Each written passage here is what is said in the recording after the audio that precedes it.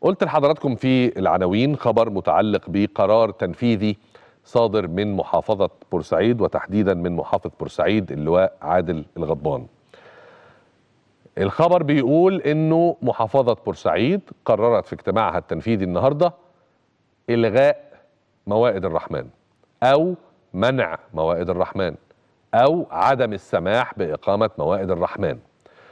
والمحافظة بررت في بيانها هذا القرار بأنها عايزة تحد من ظاهرة التسول ده رقم واحد. رقم اتنين إن في بعض على حسب كلام المحافظة برضو إن في بعض المنتفعين اللي بياخدوا سلع مدعمة من الدولة بياخدوا سلع مدعمة من الدولة بأسعار مدعمة ويتاجروا بيها. وعشان كده منعوا موائد الرحمن.